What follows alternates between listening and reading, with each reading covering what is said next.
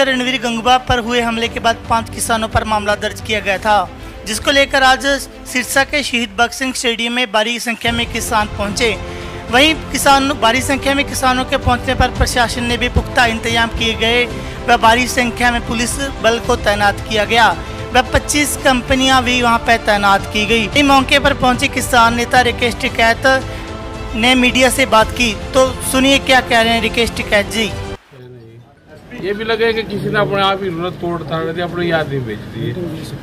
हिसार में इन्होंने शीशे तोड़े पुलिस ने खूब देखा पुलिस वालों ने तोड़े उन पर कोई धारा ही नहीं है। ये है कि प्रेशर में लेने का काम करना चाहते हैं उसमें किसान आएगा नहीं। अपना मोर्चे लगाएँगे भाई पक्के यहीं एक मोर्चा हिसार में सही। सिरसा में हाँ। आपकी मुख्य मांग क्या रखी है आपने बैठक में? बैंक ये रखी एक तो जो धाराएँ लगा रखी है जो लोग हैं उनको रिहा करो। ये हमने कहा है। आगामी रणनीति क्या होगी जी? आगे तो हम रहेंगे भाई मोर्चे लग रहे दिल्ली के चारों तरफ़ ये भी उसका एक आंदोलन का हिस्सा है।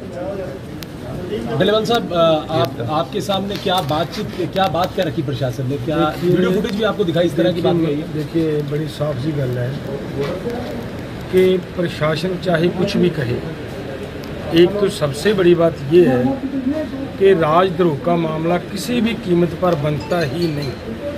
और उस पर ये ये कह रहे हैं कि हम एसआईटी बिठा देते हैं। एसआईटी बिठाने का क्या मतलब है इससे? इसमें तो एसआईटी के कोई मतलब नहीं बनता। तो एस आई टी से तो कोई कोई काम नहीं चलने वाला। हमारा मतलब ये है कि वो वापस ले। और दूसरी बात है, जो हमारे नौजवान जेल में भेजे हैं, उनको वापस आए। हमारा यही बात है। लेकिन उनकी बात जो है, मैं आपको राकेश जी ने बता दी। मैंने भी आपको बता दी। मीटिंग है जो वो वो बेसिकटा रही है उसमें से कुछ नहीं निकला। अब हम वहाँ वापस जाएँगे वहाँ बैठे करेंगे आपस में। अपनी क्या किसी, किसी एक बात पे कोई सहमति बनी हो? ना, हमारी सहमति वाली अभी तक कोई बात ही नहीं। क्या बात है क्या सहमति बनेगी? वो तो वो तो कानून की बातें बता रहे हैं। हमारा तो यहाँ ज़मीन पर ठहरी हमारी सहमति बनेगी कि आधी दम ले लो आधी हम ले लेंगे। यहाँ बंटवारे का है। अरे लोग हैं आपका ध्यान रखेंगे भाई उनको छोड़ दो। किसने करा? वे ये तो ये कहेंगे काले झंडे दिखाया कि तुमने शिष्य तोड़े।